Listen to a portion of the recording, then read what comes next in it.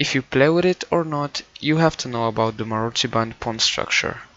And that's because it can arise from almost every opening, from like e4, d4, c4, and the Maroczy-bind pawn structure is known for the pawns on the c4 and e4 squares, and so you have it with the white pieces. Now to fully understand these positions, you have to know some basic plans and features about the Maroczy bind pawn structure. There are of course advantages and disadvantages, so let me just show you some advantages that white has in this pawn structure. Now the first advantage that white has is this control over the d5 square. And why, why is this so important? That's because this is a central square and with these two pawns you're preventing black from playing a move such as d5 um, uh, because he just wants to get more space in the center and challenge your center and you're successfully preventing this here. This d5 square is also a very good um, square for your pieces to go. Let's say if your knight jumps here, this is a pretty good square. So that's why this control of the d5 square could be very useful for white. Now the second advantage of this position for white is that you have more space with these pawns here in the center. And this means that you don't want to trade pieces. Because now if black has let's say a piece here a piece here here here here and here his pieces are some of his pieces are kind of in the way uh, for each other and they can't freely move. And if you exchange some of these pieces these pieces are going to have more freedom and this is just not the thing that you want to do, right? So remember, you have more space and that's why you want to avoid trades and just turn this space advantage into even more space advantage and try to squeeze him. And now the third thing that we have to say about the Maroczy bind is that as you can see between these two pawns there is an open file um, which white might want to use he might put he, uh, here his queen, I mean his queen is already here, but he can put it there and also put his um, rooks here on this file and because he has this opportunity of controlling the d file he should use this in his favor to occupy it and just do operations on this file. Now let's stop with the advantages here for white and let's look at some disadvantages that you have in this Maroczy bind pawn structure. Now first of all, you can see that all these dark squares here are pretty weak for white because you have your pawns on the light squares and they're they're not really controlling the dark squares and your opponent is usually going to have a bishop on this g7 square um, just dominating this diagonal here. So a lot of times you want to trade this bishop off with your bishop and black is usually going to try to play something like bishop to d7 and bishop to c6 and he's going to try to attack your e4 pawn and you're probably going to have to defend it with the move f3 and you're going to weaken your dark squares even more. So that's that's your opponent's plan here. Uh, he has also a plan of uh, a6 and b5 challenging uh, your pawn structure so your setup could be like this here or you could play a4 in some lines to um, try to prevent this idea. Um, they're both fine. Um, I personally would use this one probably with um, pawns like this but it's really your choice and the matter of the position. Now you might think okay you said good and bad things about the Maroczy bind pawn structure also two plans for um, the player with the black pieces to follow. But now what should I do in this position? What are my plans? So the plans for white here are actually pretty simple. Um, you want to really uh, play f4 this is the first plan. Expand on the king side. Because you have more space and why not just grab even more space? And you also want a lot of times to play f5 after this let's say uh, especially if the bishop is uh, here to gain a tempo and your rook is here also supporting all this stuff and your knight here probably. So this is a pretty common uh, pawn push that you have to keep in mind when playing with the bind pawn structure. Now your second plan is mm, basically pretty similar to the, um, the previous plan and it's to put your king on h1 and your rook to g1 and then expand on the king side again and also with g4 here. Um, and your king here might look a bit unsafe but uh, it's actually pretty safe here because the opponent's pieces are hardly going to um, attack you from there and you also have your pieces to protect your king the only way basically um, that your opponent could attack you is by playing um, bishop to c6 and just creating a pin here you of course have to watch for this so it really depends on the position Sometimes this might be available, let's say if you exchanged um, the light square bishops, it's probably better to do this. And it's really a very great idea.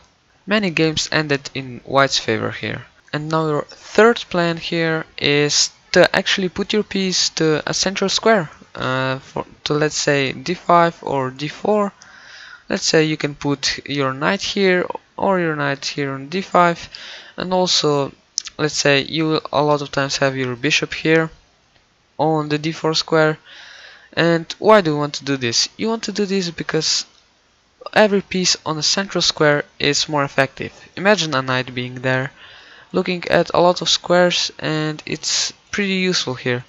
And if you compare it to a knight let's say here it's attacking only two squares and here it's attacking eight squares. So that's really a basic explanation of why you want to put your pieces on a central square here and because you also have uh, support here from your pawns and from your uh, other pieces of course to make this happen. Now after I showed you good and bad sides of the bind pawn structure and the plans that you can use, let's jump into an example from a real game.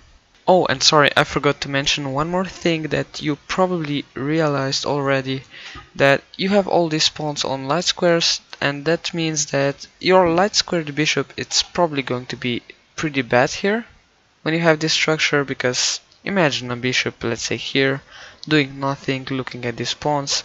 So that's why a lot of times you want to exchange it, because black plan is also to just get into a position when he has let's say a knight versus your bishop. And his knight is going to be very active and your bishop is going to be very poor. So you usually want to um, get rid of this bishop. So let's start with this interesting game white started with the move c4 and I'm not going really going to go over the opening because it's not that important for us right now. Um, we're focusing on uh, Maroczy bind pawn structure so they somehow um, got to this position and you can see already Maroczy bind. And it would basically arise from like c4 opening d4 e4 uh, anything and this is just opening theory here which is not that important for us again. And we just see normal developing moves and both sides castle.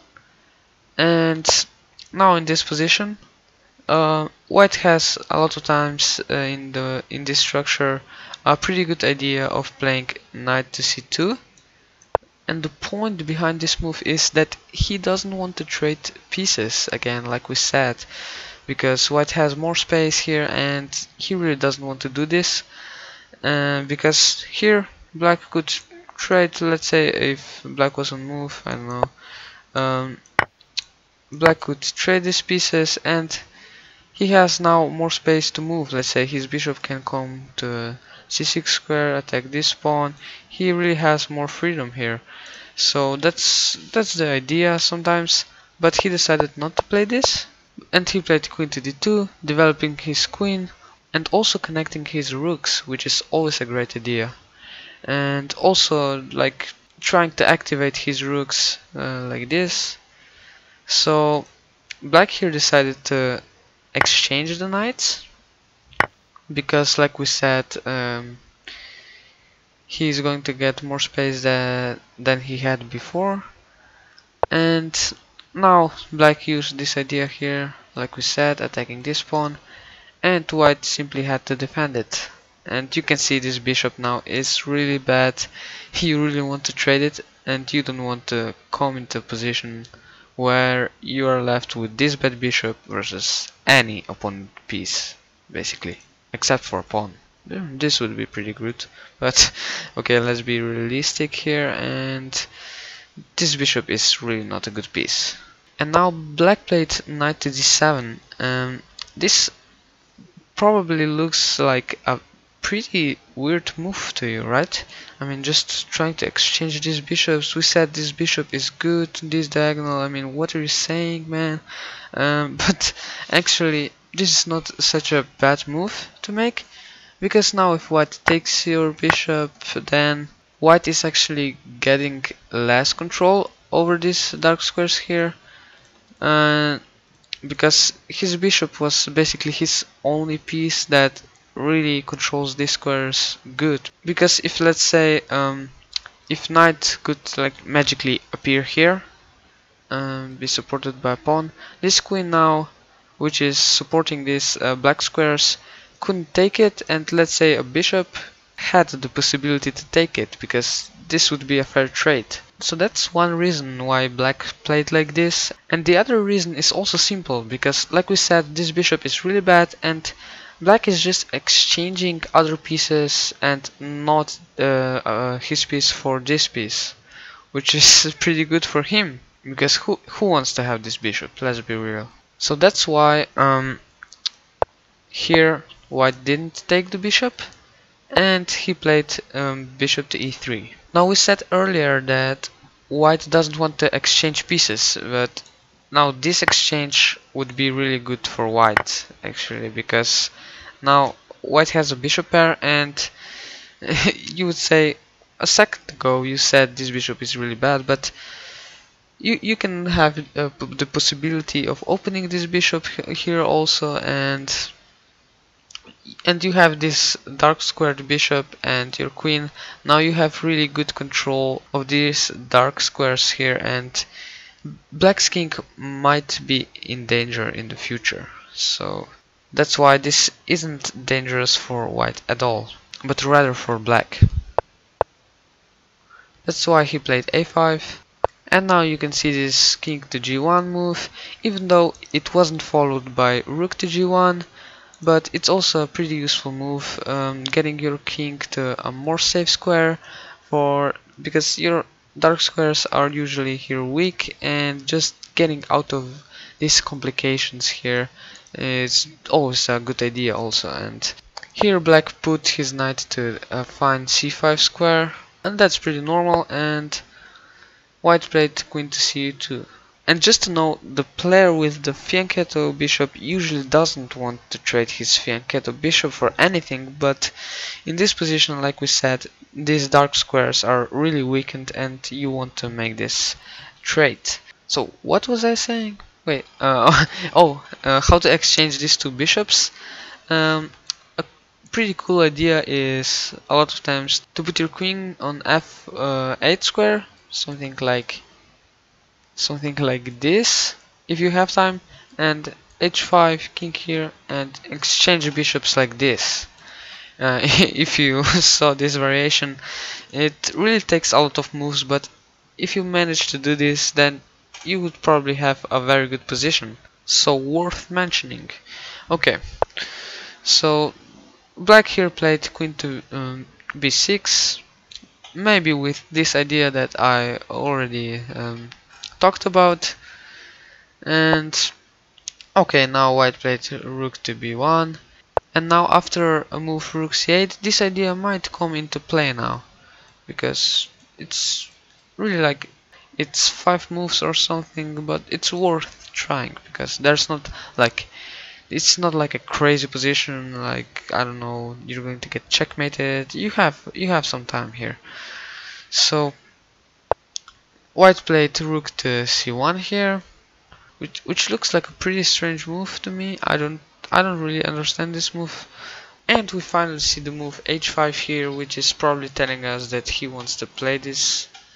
And here I mean black doesn't even have need to have the support of the king here because only this is enough. Because white doesn't have a queen here to have extra pressure here but at the end he black didn't um, use this plan and we'll see what happens. So b3 kind of solidifying the structure keeping this bishop um, passive forever. I'm just kidding but okay queen to b6 queen to b4 we see we see some moving of pieces here just um, just moves not that really uh, important for our topic here but um, here when white moved out of this uh, diagonal black used this uh, opportunity and moved his bishop on this diagonal here that he wanted. But white okay white moved the rook and now black tries to exchange queens. Well if white decided not to trade queens for example a move like this and this might be annoying because of these kinds of moves it looks pretty annoying and just it doesn't look great for white so that probably that's why he took the queen. And now it still looks a little bit annoying for black uh, this bishop here and this knight on this uh, great square but white actually managed to win at the end. So here he played his knight to a central square like we talked about um, putting your piece to a central square um, which is supported by your two pawns on c4 and e4 and this knight here as you can see is a very good piece and that's why black wanted to exchange this piece and he did it right away.